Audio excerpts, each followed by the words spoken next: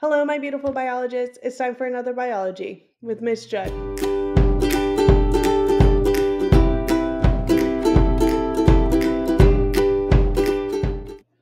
So far in this unit, we've talked about the basic idea of evolution. Just recently, we looked at the fact that there is evidence that evolution exists on this planet. Population and species have changed over time. We saw that with evidence from the fossil record, with evidence from our structures, with evidence from biochemistry. When we think of evolution, we think of the scientist Charles Darwin. In the 1850s, Darwin wrote a very influential book called On the Origin of Species. In this book, he proposed that species evolve, or as he said, descended with modification, and that all living species can trace their descent to a common ancestor. But more than that, Darwin suggested a mechanism for this evolution. He said that this evolution happens because of natural selection. That's what we're going to talk about today. We're going to talk about these heritable traits that help organisms survive and reproduce, and therefore they become more common in a population over time. So, because these traits are becoming more common, my population is going to change. Sounds like we need to talk to Ghost Miss Judd. Hello, biologist, and welcome to Unit 6, Lesson 2 Natural Selection. This idea of natural selection came from our friend Charles Darwin. Darwin seemed like an unlikely revolutionary, but he was offered a chance to work as an unpaid naturalist on the boat HMS Beagle, a naval vessel that was going around South America. Darwin took advantage of this opportunity and looked at the Galapagos Islands more specifically. He observed plant and animal life and collected both living and fossilized specimens to study later. Based on all of these observations, he came up with the origin of species. On the origin of species may have never been written, let alone published, if it wasn't for the other scientists that we talked about. In this book, Darwin wrote that evolution is due to two natural factors. The first factor, Darwin argued, is that each individual animal is marked by subtle differences that distinguish it from its parents. Darwin called these differences variations, or as we know, genetic mutations. The second factor Darwin argued is that although variations are random, some of them have advantages superior camouflage, greater speed, are good examples. But this allows this organism to survive in its environment. With a greater chance of survival means there's more opportunity to breed and pass on those traits to more offspring. Over time, an advantage spreads throughout a species, and because of that, the species is more likely to endure and reproduce. There we go. Over many generations, these small changes occur, they build, and eventually it becomes bigger changes and possibly even new species. This is his theory of natural selection. Now, we want to remember that this idea of evolution occurs at the population level, not the individuals. Think back to our organization of life. It is the group of organisms that are changing, not just one. Darwin gave us three main forces to this principle of natural selection the first one is a struggle for existence. Organisms produce more offspring than the environment can support. If all populations have the potential to produce more offspring than can survive, members of a population will compete for the resources. Darwin described this competition as a struggle for existence. There's competition for those resources. So here I have a population, a group of butterflies. There are limited resources like a lack of food, a lack of habitat, and a lack of mates, which means that not all individuals are going to survive. So then there's the question if not all individuals are going to survive, who's going to? And that brings us to our second factor variation and adaptation. Here's where natural inheritable variation took center stage. Darwin hypothesized that individuals with certain types of inherited variation are better suited or adapted to life in their environment than other individuals. Members of a predatory species that are faster or have longer claws or sharper teeth can catch more prey.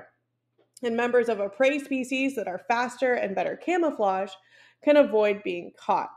So the offspring in any generation will be slightly different from one another in their traits color, size, shape, speed. And then these traits are inheritable. We're thinking about our genetics knowledge, they get passed on to offspring. Any heritable characteristic that increases an organism's ability to survive and reproduce is it called an adaptation. Adaptations involve body parts or structures, like a tiger's claws.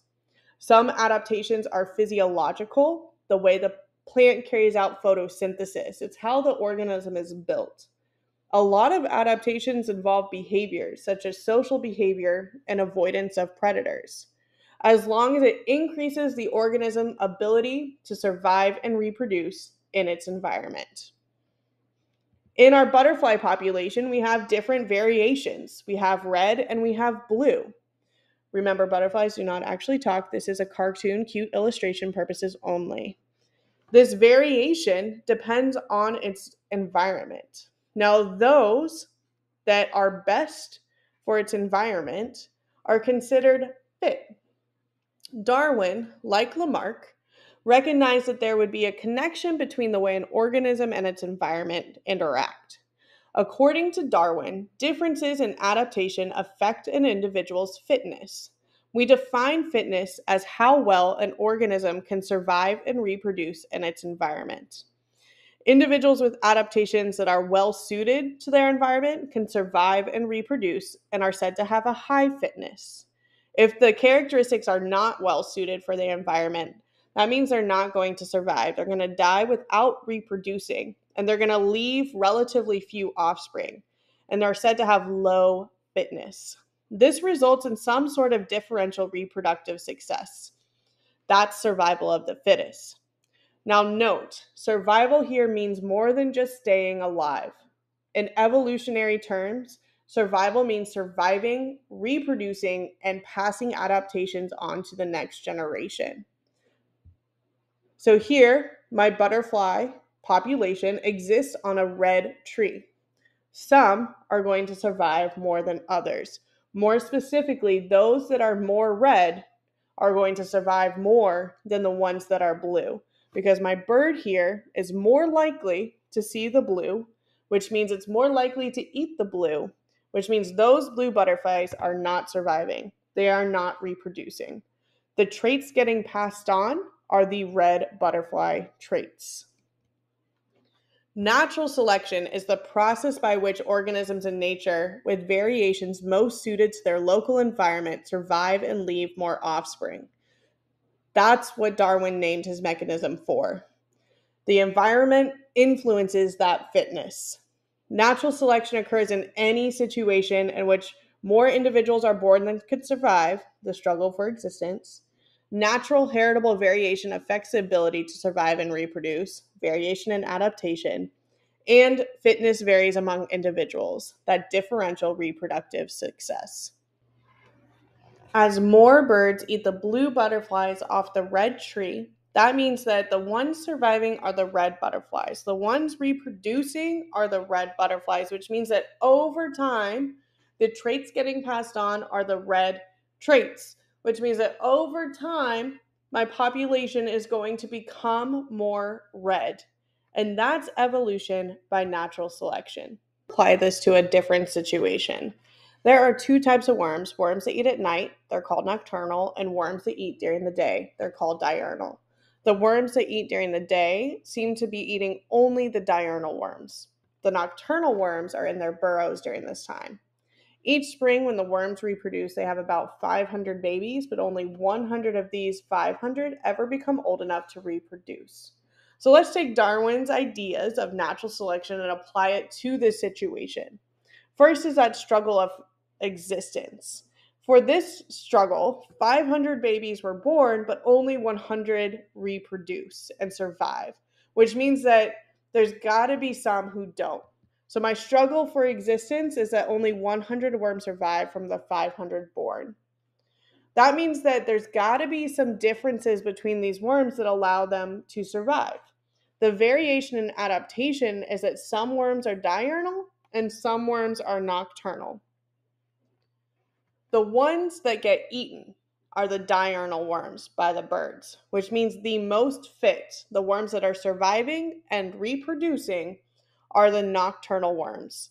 The nocturnal worms survive and reproduce, which means that over time, the population of worms becomes more nocturnal. And that's evolution by natural selection. Let's pause here and do the next one on our own. From generation to generation, populations continue to change as they become better adapted or as the environment changes. Now, something to really think about is that natural selection does not make organisms better. Adaptations don't have to be perfect. They have to be just good enough to enable an organism to pass its genes on to the next generation. Remember, natural selection does not make organisms better, but it does change populations, and it changes it in three ways. There are three types of natural selections. Now, when we look at this, we're going to be looking at graphs. Our graphs are going to show a range of the trait.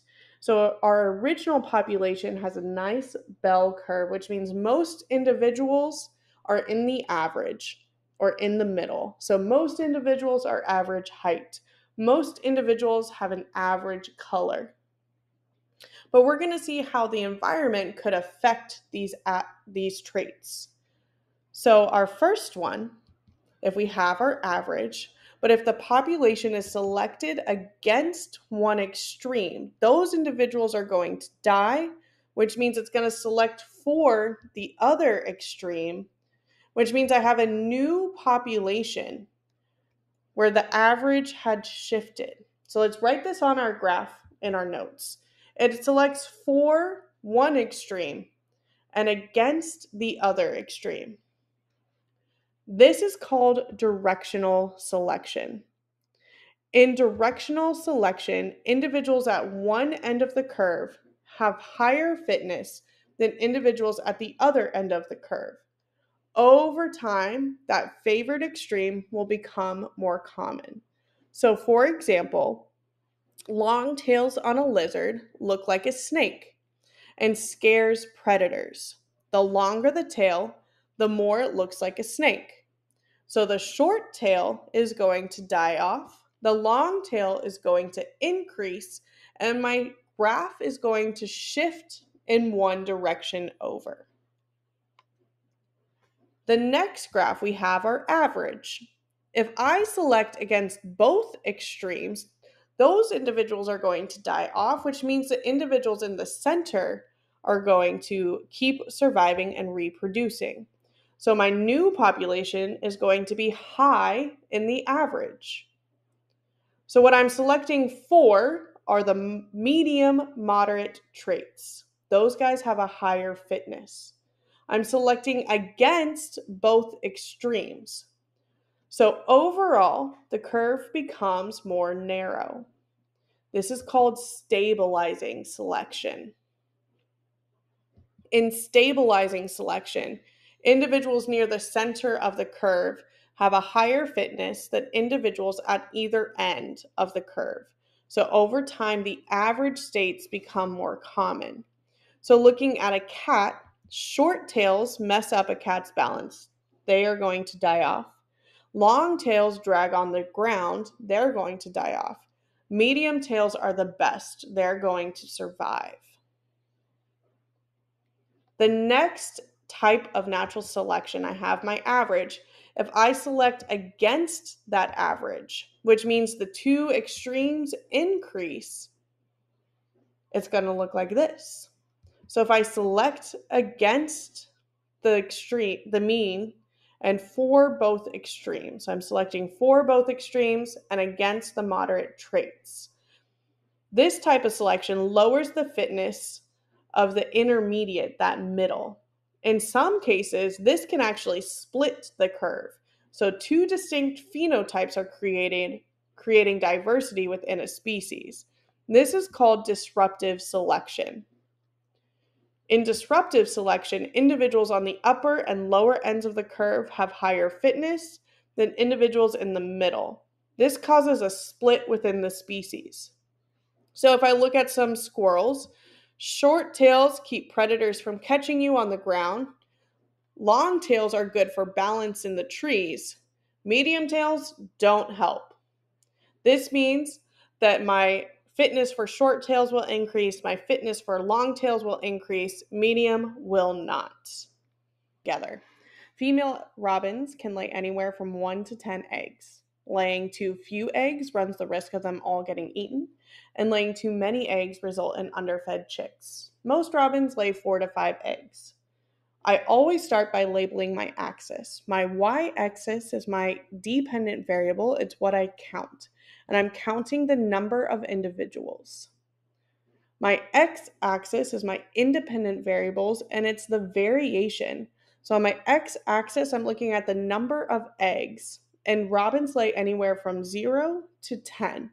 That's my variation. Now I have to think who is being selected against? Who is not surviving? Too many eggs result in underfed chicks, and too few eggs run the risk of them getting eaten. So, too few are going down, too many are going down, which means that the ones that are surviving are the ones that lay the average four to five. And then all I do is draw a curve that matches these arrows going down on the sides and up in the middle. This type of selection, looking back at my notes, is stabilizing selection. Let's pause and practice the rest on our own. Thanks, Ghost Miss Judd. I was just sitting here thinking about how that was a lot of information, but it kind of makes sense for how the world looks it makes sense for the environment to affect how populations look and act. You guys are awesome, and I'm so proud of you for all the work you put into these notes. As always, if you have questions, please ask your teacher and make some good choices.